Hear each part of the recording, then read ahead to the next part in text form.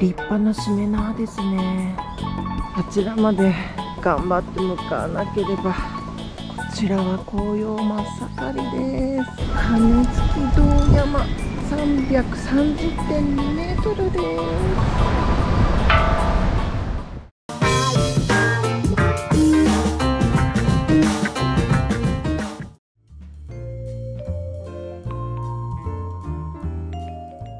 こちらは寄居の市街地となってます。街がよく見えてます。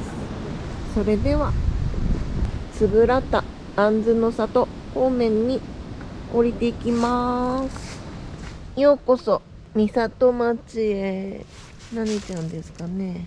どうもよろしくお願いします。つぶらた特産センターの方に向かいます。先ほどのはミムリン。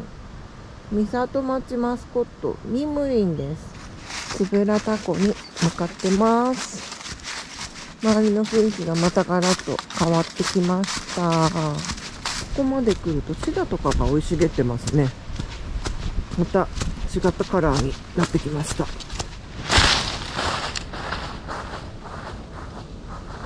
こまで降りてきました。つぶらた特産センターの方面に向かっていきます。つぶらた特産センター。名物でも食べようかなと思ってたんですけど今日お休みみたいです。ミムリンお休みなんだって。というか。今気づいたんですけど令和3年10月31日に閉店になってしまったようです。なのでやってないようです。寂しいです。やってないんですね。終わっちゃったんだ。つぶらたこです。綺麗です。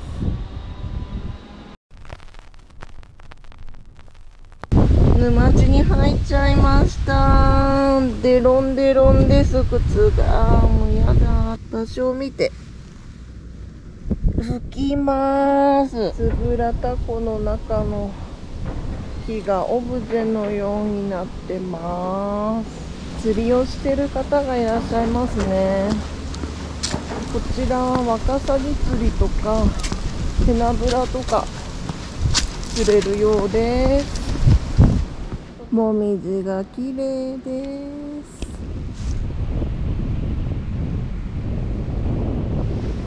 それでは少林寺の方に向かっていきます。先ほどからこのようなゆるい上りですがちょっとじわじわ疲れがきますね。少林寺には五百羅漢像があると書いてあります。こちらからもう羅漢像が置かれてますね。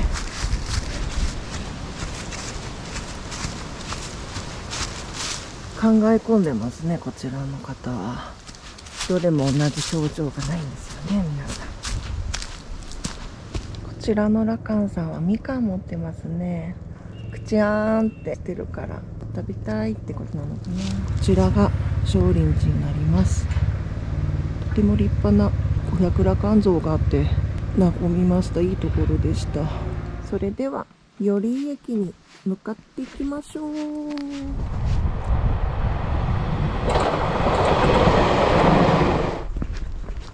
線路を渡って寄居駅の南口方面へ向かいたいと思います。こちらの秩父屋さんでちょっとコロッケとかあげてもらいたいと思います。こ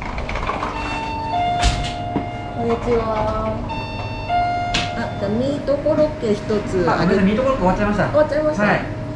じゃあメンチで。メンチですか？はい。どうぞお預かりします。はい。とうございます。本当はミートコロッケ食べたかったんですけれども売れ切れだったのでメンチにしました揚げたてで熱いです。